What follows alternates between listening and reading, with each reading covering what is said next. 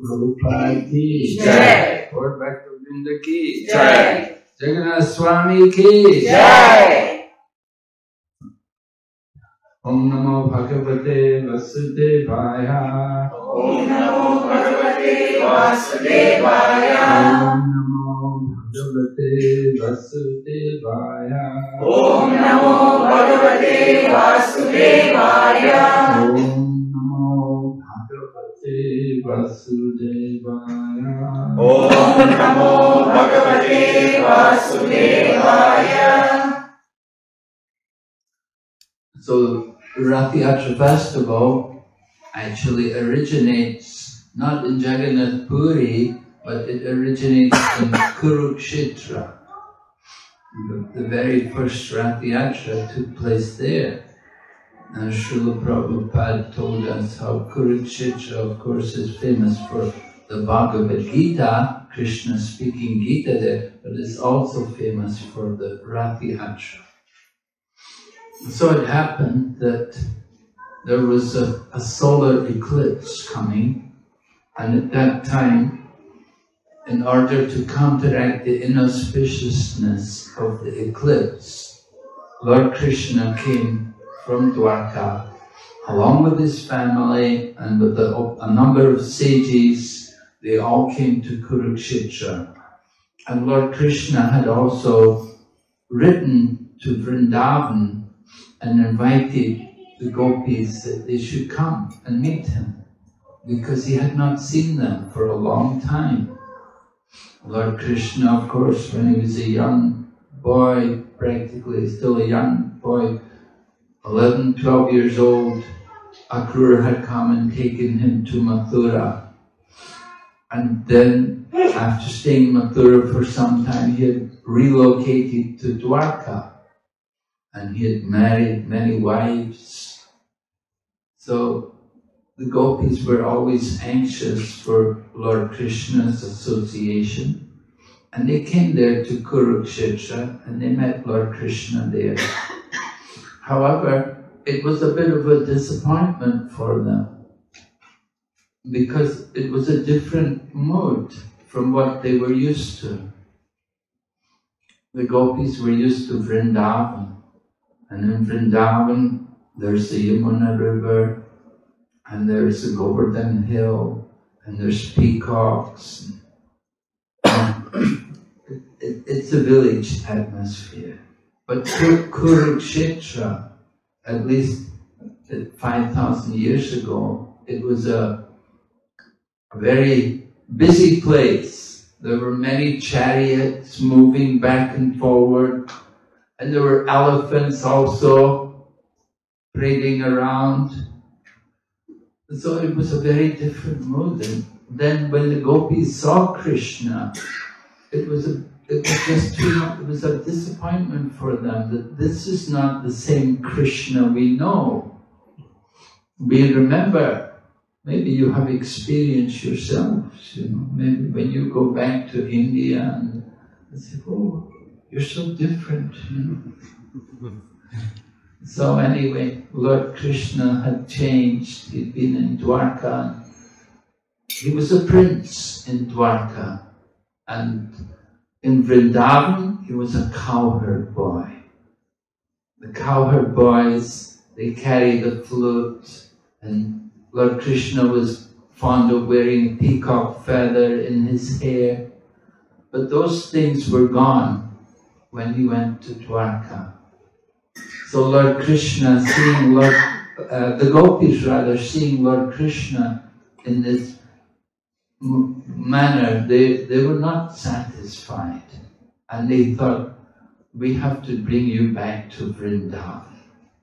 So the whole Rath Yatra festival is the mood of bringing Krishna to Vrindavan. And for thousands of years now, the Rath Yatra festival has been celebrated. 500 years ago, of course, Chaitanya Mahaprabhu was there and he was taking part in the festival regularly. And he would organize it also. He would organize the kirtan parties around the chariot. and in each kirtan party, there were, just like tonight, wonderful kirtan was, you know, expert mridanga player, expert singing and kartal players. Everything was very, very well orchestrated. So Lord Chaitanya would organize the Rathayatra festival also. He would organize it because the people would come from not only from Orissa, they would come all the way from Navadvip, from Bengal, and they'd come there, and the different villages each had their own kirtan parties. And Lord Chaitanya would take part in the festival. And just as Lord Krishna would dance Rasalila, and when he would perform Rasalila, he would dance with each of the gopis. Each gopi was thinking, Lord Krishna is dancing with me. So similarly, when they had the Rathayatra festival, the different kirtan parties were performing kirtan, and Lord Chaitanya, by his divine mystical power, he manifested himself in each of the kirtan parties. And each of the kirtan parties was thinking, Lord Chaitanya is in our kirtan. He's dancing in our group. And of course, they would perform the Rath pulling the chariot from the main temple at Jagannath Puri, which is not different from Dwarka, and they pull the chariot to Gundicha, which is like Vrindavan, Lord Krishna's home. And the Rath festival has, uh, there's a festival which takes place called Hera Panchami. It takes place on the fifth day after Lord Jagannath has come out of the temple and gone to Gundicha because Lord Jagannath had taken permission from his wife, the goddess of fortune, that he would go to his home to visit his family there in Vrindavan. So the goddess of fortune agreed, but said, come back, don't be too long. However, after five days, she became impatient that what is going on, and she came there with her servants, and they went to Gundicha. And every year they celebrate, they reenact this pastime, uh, goddess of fortune coming and uh, arresting the servants of Lord Jagannath. What's going on? Why you're you not coming home? Like this. So Rath Yatra is a very important festival for us in the ISKCON society. Of course, it was a very dear festival to Srila Prabhupada. And one of the aims of the Krishna Conscious Society is to hold these different festivals throughout the year. So celebrating Ratha Yatra is an important event. Srila Prabhupada would like to personally come and attend the Ratha Yatra. And on some occasions he would also dance in the Rath Yatra. Despite his elderly age, he liked to also dance in the kirtan. He, sometimes he would sit on the chariot, but sometimes he would walk. He'd say, no, I'm going to walk. And when he would take part in the procession, he would also dance and inspire the devotees to chant more. I remember one Rath Yatra which we put on in London. It was very grand. And Srila Prabhupada was impressed that, wow, you've done very well this year. The chariot was so huge and the prasadam was abundant and it was very elaborately, everything was, the chariots were well decorated, so many flowers. So Srila Prabhupada was very pleased. But he was also surprised because he knew, you know, the Krishna consciousness movement in those days, we didn't have a lot of funds. We were practically living from day to day. The temple was always struggling to pay the rent and so on. And Srila Prabhupada was aware of the difficulties. And Srila Prabhupada said to the devotees, he said, how did you do it? You never usually have any funds. Actually, one time, they had arranged to bring Prabhupada from the airport in London in a helicopter. So the next year, Prabhupada came again and he said, Oh, last year you brought me in a helicopter. Why is it this year we're in a car? They said, Srila Prabhupada, we're still paying for the helicopter. uh, helicopters are not cheap. anyway, uh, Srila Prabhupada appreciated our difficulties and he was impressed that we managed somehow to make such an elaborate festival. And he said, how did you do it? So they told him how one devotee, who, one young devotee, brahmachari at the time, they put him in charge of the Rath Yatra, but they told him there's no money. Don't ask the temple for any money, there's no money. But somehow Krishna arranged that this devotee got an inheritance. Just before the Rath Yatra festival was taking place, he received an inheritance from his one of the family who passed away and left a sum of money which he had inherited. So he used all that money for the Rath Yatra.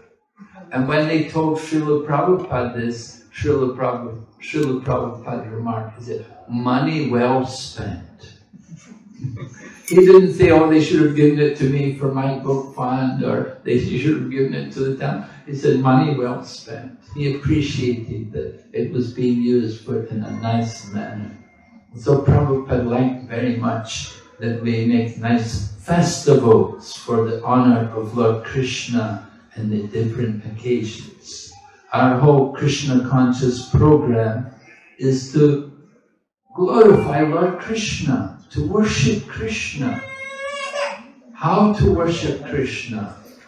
Well, we offer fruits and flowers, we offer tasty foodstuffs, and also kirtan, having nice kirtan chanting of the holy name, and bringing together people from everywhere, inviting everyone to come and take part.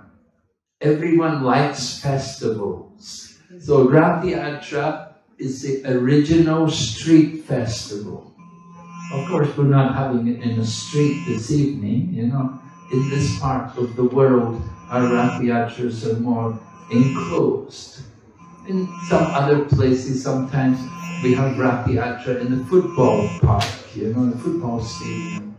But everywhere, according to the time and circumstances, we make an attempt to glorify the Lord of the universe.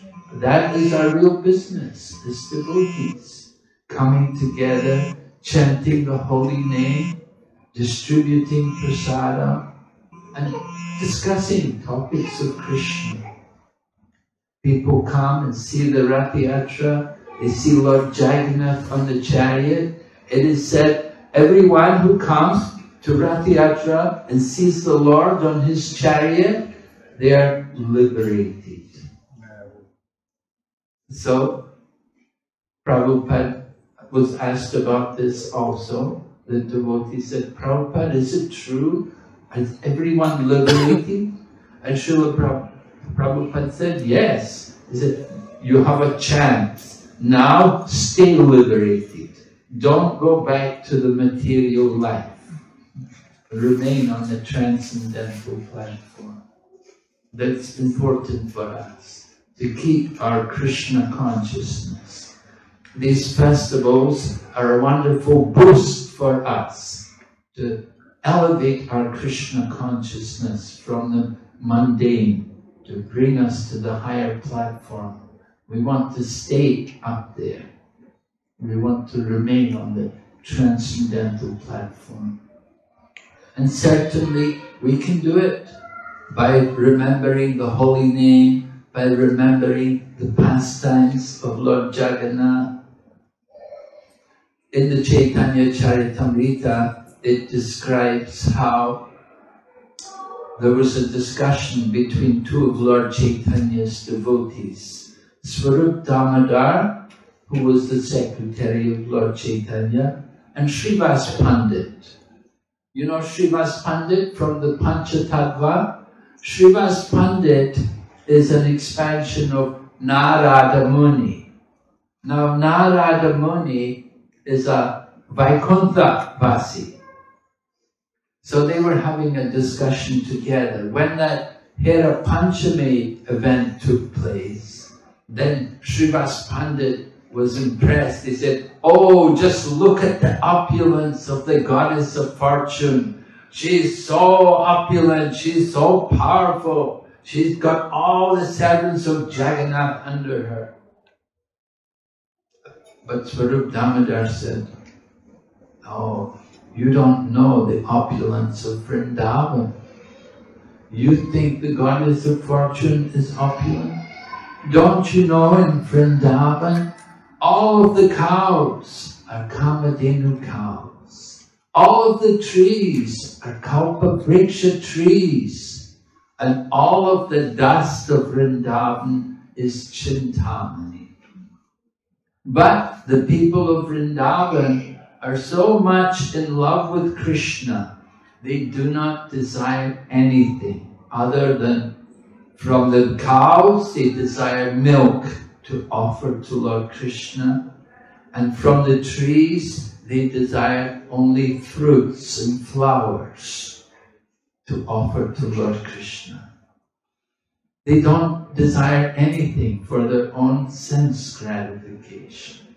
Although all the dust and all of the cows and all of the trees are so transcendentally empowered that they can fulfill all of our desires. The people of Vrindavan have no material desire.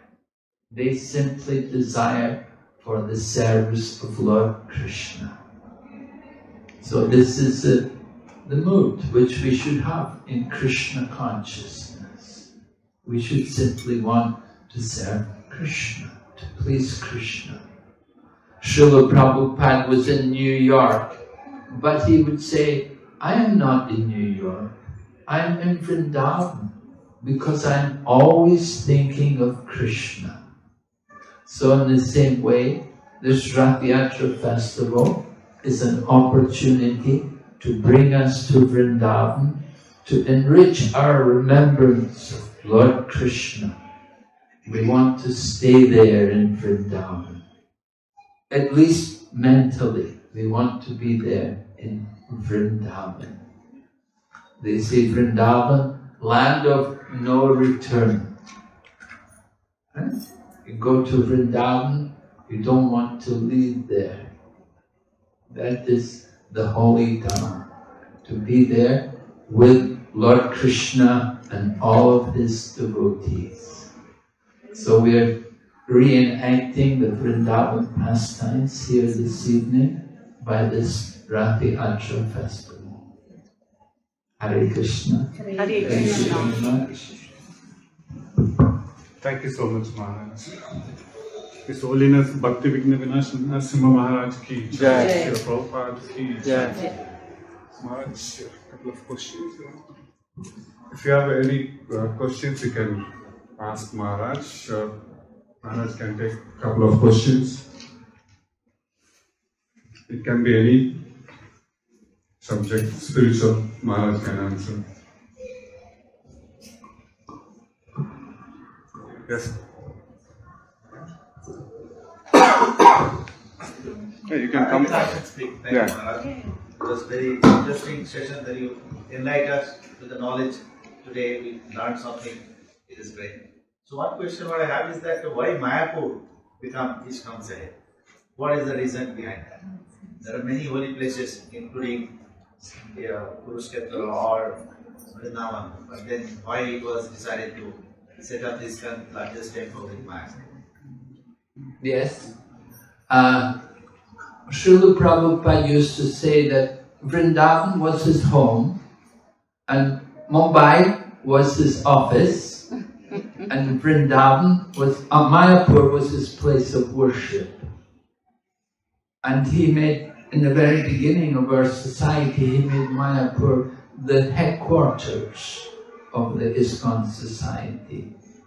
That was the, and every year he organized at the Gaur Purnima time that the members, the managing council, that they should come together there in Mayapur and meet and discuss how to uh, facilitate the propaganda of Krishna consciousness on a bigger scale. So Srila Prabhupada certainly wanted Mayapur to be headquarters. Actually, Jayapataka Swami told us that uh, at one point Prabhupada also thought about Shantipur, and he was going to Shantipur. He liked Shantipur, but somehow he couldn't get the land there. And so then it happened that they got that land in Mayapur. And Prabhupada's god brothers, they're all there in Mayapur, and his Guru Maharaj, Bhaktisiddhanta Saraswati Prabhupada, his main office was there in Mayapur. And uh, Bhaktivinoda Thakur's house is just across from Mayapur, it's Swarupganj. So it's certainly like a, a Mecca, you know, you know, the central place for Krishna consciousness movement. The Gaudiya Math is headquarters are there. For the Gaudiya Vaishnavism, it's the central place in Vrindavan there's so many panchas and other groups, and, you know, everything is there. It's a bit more dangerous. Um, Jagannath Puri, things are a bit also diffi difficult there. But Prabhupada wanted Mayapur, he liked Mayapur. And he encouraged the devotees, uh, come to Mayapur, visit the holy Dham. Okay? Was it also because Maharaj, uh, my, uh, Chaitanya Mahaprabhu was born in Mayapur? Yes, right? Said, the birthplace of Chaitanya Mahaprabhu is there in Mayapur, the Yoga Pith that was discovered, located by Bhaktivinoda Thakur. And then Bhaktisiddhanta Saraswati came and also developed there.